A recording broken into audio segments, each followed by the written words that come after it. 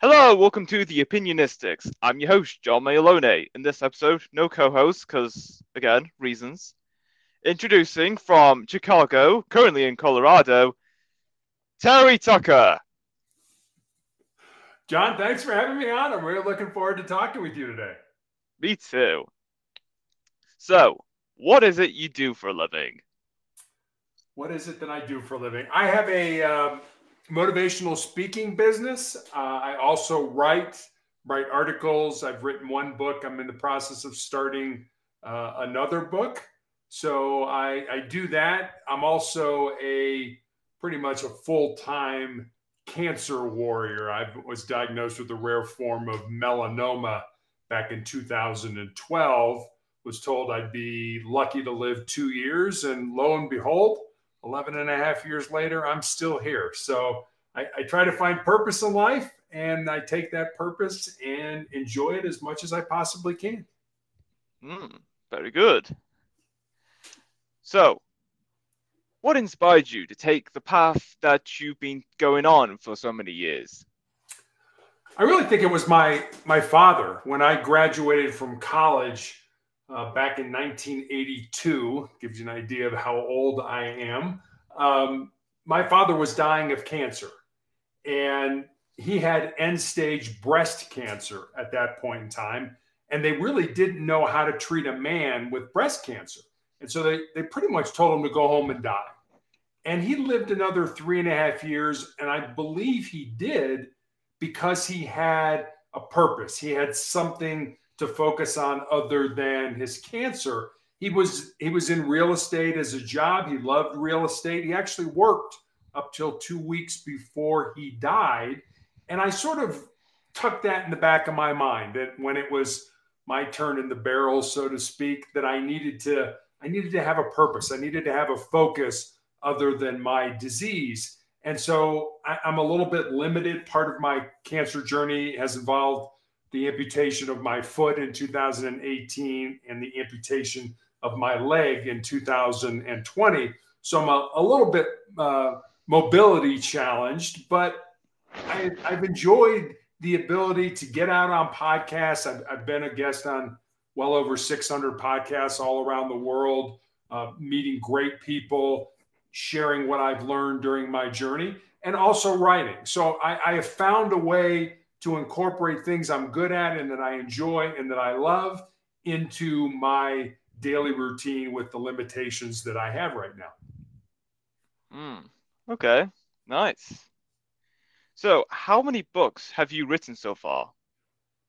I, I've written one book that's been published. I've written several other books. One of the jobs that I had in my life when uh, my wife and I have one child, a daughter, when our daughter was young, is I was a police officer. And I used to write stories to her on the off chance that one night I didn't come home from my job. And I eventually had all these stories that you could potentially say is a book. And I gave it to her. I said, if you want to publish this, go right ahead. If you want to keep it for yourself, feel free to do that as well. Uh, I also wrote another book, uh, a huge book. It's, it's like 400, 500 pages about my cancer journey. And I tried at one point to get that published. But what I was told was publishing companies aren't interested in publishing a book about cancer unless you're either A, famous, which I'm not, or B, have a large following, which I don't. So I, I made an, uh, an overture into that. It didn't work out, but I moved on to the book I eventually had published. And like I said, I'm, I'm also working on another book right now. Nice. Very good. What was life for you growing up? Life was great growing up. I am uh, the oldest of three boys. As you mentioned, I was I was born and raised on the south side of Chicago you can't tell this from from my voice, but I'm six foot eight inches tall, and I actually went to college on a basketball scholarship. I have a, a brother, another brother who's six foot seven, who was a pitcher for the University of Notre Dame here in the United States. And then I have another brother who's six foot six, who was drafted into the National Basketball Association, professional basketball, here in the States. And then my dad was six foot five. So we used to joke that if you sat behind our family in church growing up, not a prayer's chance you were going to see anything that was going on in front of you. But my my parents really showed us the, the importance, the value of family, of loving each other, of caring for each other, of supporting each other. And they used to do what I called divide and conquer parenting, where I would have a game on a particular night at a particular time. And my brother would have a practice at the exact same time, the exact same day. And so my parents were like, okay, I'll, my dad would go with me and my mom would go with my brother.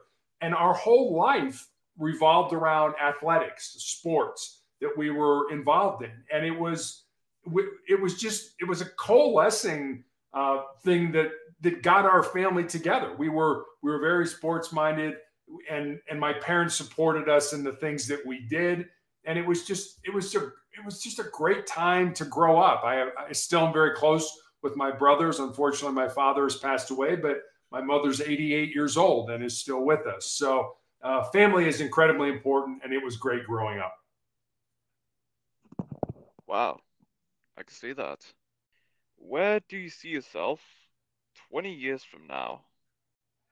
I, I don't mean to be flippant on that, but more than likely dead. I, I, I, I kind of joke about it, but um, uh, my my disease continues to consume my body, um, and it, it's it's not something I, I dwell on. And when I found out I had was going to have my leg amputated, and, and I, I still have tumors in my lungs, which I'm I'm treated for every three weeks at the hospital. I went with my wife to the mortuary and to the cemetery and to the church and actually planned my funeral. And because I go on podcasts like yours and, and talk about motivation and the need to keep moving forward or speak to groups in person, I actually got some brushback from people who suggested that somehow planning my funeral was in some way defeatist. And I had to remind those folks that the last time I checked, we're all going to die. As far as I know, nobody's working on a cure for life right now. John, every one of us is going to die, but not every one of us is really going to live. And I I heard a Native American Blackfoot proverb years ago that I absolutely love, and it goes like this: When you were born, you cried, and the world rejoiced live your life in such a way so that when you die, the world cries and you rejoice. That's what I want. That's what I'm looking to do. Don't get me wrong. I'm not hate, looking to hasten my demise at all, but death is not nearly as scary for me because I believe I lived the purposes that I was put on this earth to do. Yes, absolutely. If you were given 500 acres of land, what would you use that land for? That's a great question. Um, I was given 500 acres of land, I would probably farm it. In all honesty, I would probably grow grow things. I, I, I that's kind of an appealing thought to to sort of have land. And I, I live in a city. I've lived in cities most of my life. I've never lived in really rural areas, and the thought of just kind of you know, having some land and having a, a home on that land and sitting on the front porch and and just contemplating life and, and, and enjoying the simplicity of it just has an appeal when you said that. So I would I would probably I, I wouldn't obviously farm it, but I would probably hire it out to be farmed and and grow something that could benefit or or nurture other people and just enjoy the the calm and the serenity of of having that much land. Mm, yes, absolutely. Have you heard of a drink called banana friche? I have not. That's all right. I get that a lot. So anyway, if you were given a, to do a presentation for 40 minutes without any preparation, what would it be? What would I talk about? Um, I would probably play to my strengths and talk about what I've experienced and what I know. I've I've done a lot of things in my life. One of the things I did was I was a SWAT team hostage negotiator. So there's a there's a lot of depending on who the audience was, if it was a, a business community or a company, I might talk about the application of what I learned as a SWAT negotiator and how they can apply those those skills, those techniques to their business, to selling, to making deals, to negotiating. Um, if it was more of a general audience, I'd, I'd, probably talk about what I've learned over 11 and a half years of battling cancer. I mean, it would, I've always believed that when you give a talk, it, it should be something that you're you're giving to the audience that that they find value in it. It's not about you. It's not about what you're getting. It's about what you're giving to that audience. So depending on who the audience is, might talk about SWAT negotiation. I might talk about what I've learned during my cancer journey. Hmm. Yes, absolutely. If you could live anywhere in the world, where would it be? That's a that's another tough question. I, I've I've never really lived outside of the United States. I, have been very fortunate in that regard. I've lived many places in the United States, many different cities, and that.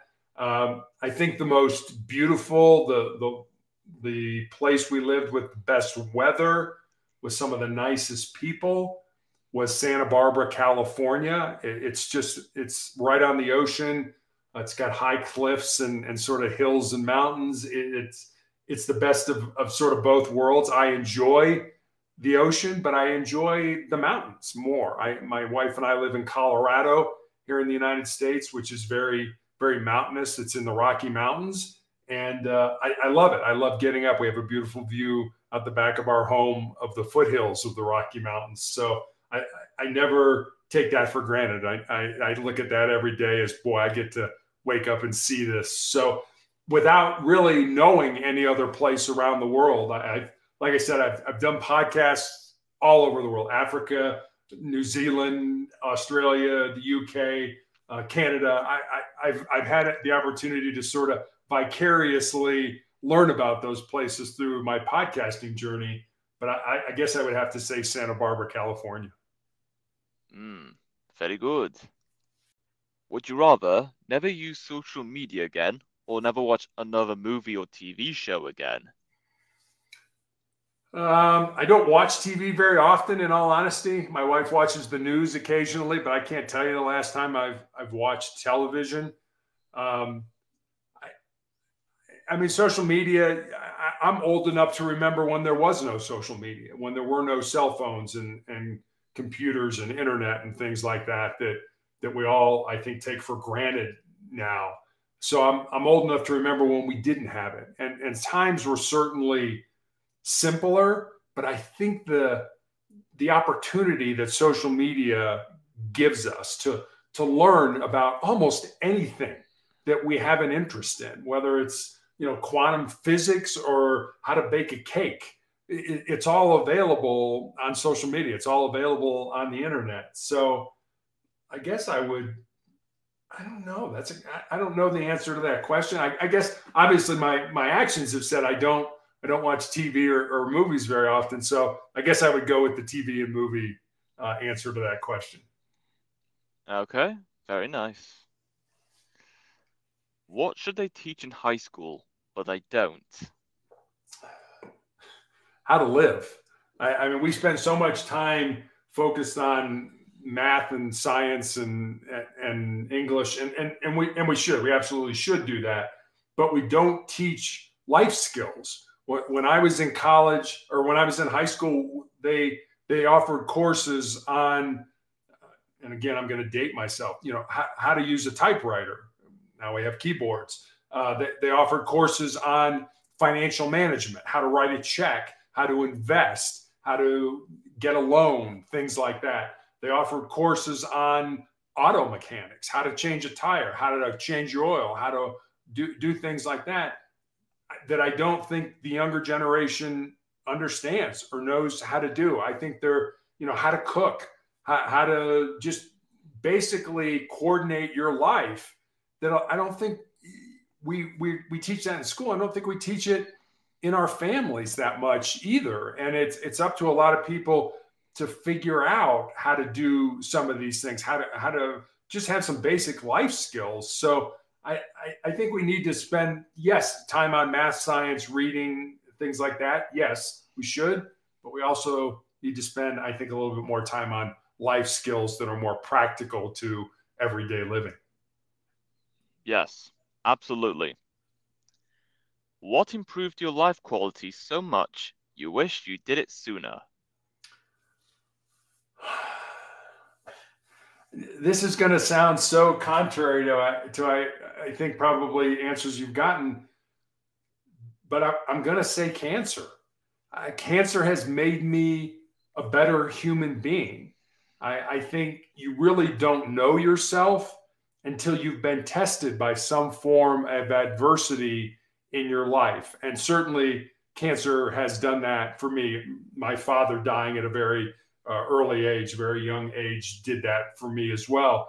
Um, but I, I, I, don't, I don't know if I would go back and redo it. If you said, "Hey, can you, if you had a do over, would you go back and say you never got cancer?" And I don't know if I would. And I know that sounds kind of strange, but it really is. It's made me a better human being. I think when you when you can't do the things that you were good at, you you you find a way to do the things that are important. And I think I've done that. I've I've said, you know, yes, I was an athlete. Yes, I've done those those were great things. Those were great times in my life. But were they really important? And I think now that I've got cancer and and and more than likely coming towards the end of my life, you focus on the things that really are important in life family, friends, faith, love, goodness, and, and things like that. A lot of the things we get all riled up about and have stress over really aren't that important in life. And I, I think when you get a terminal or, or chronic illness, you tend to focus on what really is important in life. Mm, yes, of course.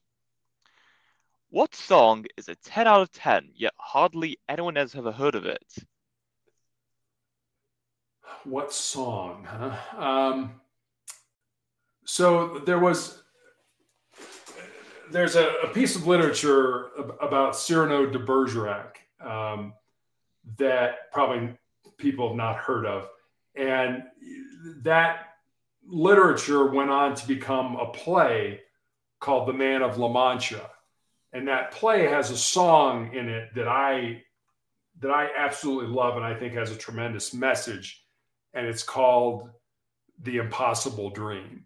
And it talks about in that in that song how you know you you do things you know to to fight for the right and and and, and do things in your life that if you do you know that when you're laid to your rest that your heart will be peaceful and calm and I and I I love that song. So I w- without anything else popping into my head, I'm going to say "The Impossible Dream" from the Man from La Mancha. Hmm. Yes, I can see that. What is your favorite quote?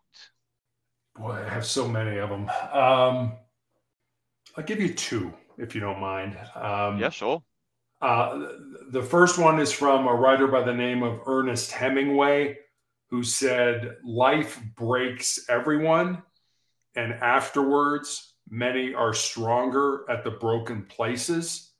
I, I love that quote. And then uh, there was a basketball coach when I was growing up at the University of California at Los Angeles, UCLA, who had, I think, the best definition of success that I've ever heard. And keep in mind, this was probably the most successful basketball coach at the time. And here was his definition of success success is peace of mind, which is a direct result of self satisfaction in knowing that you did the best to become the best that you're capable of becoming. And so here's this great coach winning all these basketball games. But if you listen to that definition, nowhere in there does it say anything about winning it basically says, have you done everything you can to get the most out of the potential that you have in your life? And if you can, then in his definition, that is success. Wow. Brilliant. What do you get every time you go shopping? Uh, what do I get every time I go shopping? I, I, I don't go shopping. That's the problem. I'm in a wheelchair and that. So I, my wife does does most of our shopping. I, the shopping I do when I go when I when I shop, which is online 99% of the time are, are usually gifts for other people in some way. Our, our, our daughter, our, my brothers, my wife, things like that. So I, I don't really have one specific thing, but in a in an overall general look, that they would be Christmas gifts, birthday gifts, some gift of some kind. Okay, nice, nice. How did you spend your last birthday? How did I spend my last birthday? Um, I spent my last birthday in a uh, in the hospital getting infusion treatment for my cancer. Um, we celebrated the following week when I was a little bit more with it. Uh, it was just my wife and myself. Our daughter is uh, is in the military and is in another part of the country, so it was just the two of us, which was was fine with me. It, it was a a quiet, um, meaningful, sort of relaxing birthday that I that I enjoyed very much. Nice. If someone wrote a book about you, what do you think its title would be? Boy, that's a great question. Um, what would its title be? I, I think it. I, am not sure if I could come up with a title, but I think it would have it, it would have the word resilient in it somewhere. That I, I just I'm not a person to quit. I'm not a person to complain. I'm not a com- person to back down. I, I I try to look at life as I, I, maybe I'm scared about this, uh, but I'm going to do it anyway. And and whenever I, especially when I speak to younger people, I always tell them if there's there's something in your heart, something in your soul that you believe you're supposed to do, but it scares you, go ahead and do it. Because at the end of your life, the things that you are going to regret are not going to be the things you did. They're going to be those things you didn't do. And by then, it's going to be too late to go back and do them. So I would hope that somewhere in that title would be the word resilience. I would hope it would be something that I I went after things that I enjoyed, that I was good at. I played to my strengths. I used my unique gifts and talents. And you you can you can use all those words and try to figure out a title, but I I will leave it at that. Mm, nice, nice. Where was the longest line you have ever waited in? Oh, it would probably be at Disneyland uh, in in Florida uh, when we were. Uh, it's been a while since I've been there, but when when we were young, just the the the hour wait for you know a, a two minute ride or something like that, it would probably have to be somewhere like a, an amusement park like Disneyland. Hmm. Interesting. If you could travel back in time, which decade would you want to live in? Um, I I loved growing up in the 1970s, but I I don't know if I would want to live back in time. I mean, it was a it was a great time. Like I said, we I came from a great family, had great friends, and it was just a, a wonderful time in my life. But I mean, there, you know, every decade has advances. Every decade has advances in medicine, has advances in technology, has advances in in education and things. And we, we know more, we get better. And I, I like that. I like the let's not look backwards other than to learn from our mistakes, but let's move forward. I mean, we can't go back and change the future, but we can certainly apply the things that we learned in the future to not making those same mistakes. Unfortunately, I, I'm not sure we're very smart in that regard. We, we seem to make the same mistakes over and over and over. And, and, and sometimes when I talk with business people, I always tell them that it's like, go back and research things. You know, what you're trying to do is not more than likely the first time something like this has been done. So go back and find out the mistakes that people made in the past, maybe not with this exact same thing, and try not to replicate those mistakes. Try to learn from them and, and do a better job of implementing your idea. So I, I love living in the 70s. So if I had to answer your question, I would say the 1970s. Fabulous.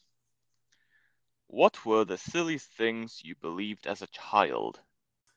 Um, believed in Santa Claus, believed in the Easter Bunny. I, I, remember we, at one point, we lived in Atlanta, Georgia, here in the U.S., and um, Atlanta has a very mild climate. It doesn't get real cold, gets very hot in the summer and things like that. But we had a fireplace. And my dad uh, at Easter time used baby powder and made what we thought as little kids were were bunny tracks in the house. That the, the, the Easter bunny had come down the chimney and had walked across the family room floor and had hidden Easter baskets and things like that. And we were like, you know, we came down the next morning. Oh my gosh, we got Easter baskets. This is great.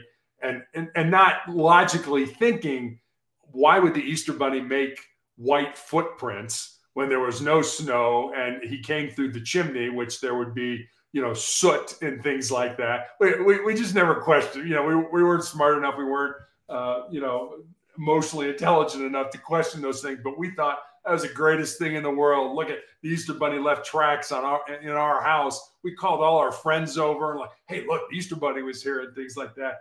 I, I mean, the things that you you get joy out of when you're a child, when, when you're innocent and things like that are, are just even though they may not be true. I mean, they just they leave a positive impact on your heart. I think it's I think those things. Some people are like, oh, hey, I never tell my kid that the Santa Claus is real or anything like that. I, I, I get that, but I, I, my wife and I always told our daughter that Santa was real, and we we enjoyed her having the fantasy of of a good person, of a loving person that gives gifts, that gives of him or herself, and I think that's that's an important lesson for us to teach younger people as they grow up. Yes, indeed. What current trend do you hope will go on for a long time. Oh, boy. Hmm. John, I don't know. I, I, mean, there's nothing coming to my mind. Uh, I, I, mean, I hope the knowledge that we are gaining um, from from studying things, from from medicine, from astronomy, from um, so, sociology, philosophy, things like that. I hope I hope we always have that knowledge, that that yearning for additional knowledge to get better, to improve, to know more. And and it was, you know, when I when I was a kid, a teacher would assign a, a paper or a project. You had to go to the library. You, you had to go and, and get out encyclopedias or books or periodicals and, and research and things like that. I mean, now we have that with the click of a mouse. So the the ability to learn, the ability to grow, the ability to improve our lives. I hope we never lose that. But in doing so, I think we've gotten to a point where we've we tend to look at other people that don't agree with us as somehow bad. That if you don't share the same philosophy, the same opinions as me, you're a bad person. When did that happen? I mean, when did we go from saying, okay, we may not agree on certain things that may be politically motivated or whatever, but that doesn't make you a bad person. You can still be my friend. We can still hang out together. And somehow, certainly here in the United States, I don't know if you you experience this in the UK, but the same thing of, of, of looking at people and saying, well, if you don't agree with me 100% on this thing, then somehow you're a bad human being. And, and that's just, that's not good. We, if COVID taught us anything, it's how much we need each other how much that you know we we're better together than we are separately. You know, during COVID, alcoholism rates went up, drug abuse rates went up, domestic violence rates went up. We need to be together. We need each other, and somehow I find ourselves pulling pulling away and sort of entrenching into certain camps that I don't want to do that. I, I want I want to understand where other people are coming from. I don't want to ostracize them because they may not agree with me on a certain point. Yes, couldn't couldn't agree more. And that is all we have for this episode. It was great having you on, Terry, talking about your works as an author and also a speaker at some point and everything else. It's been great. Well, John, thanks for having me on. I, I really enjoyed talking with you today. Me too. And until next time, stay opinionated.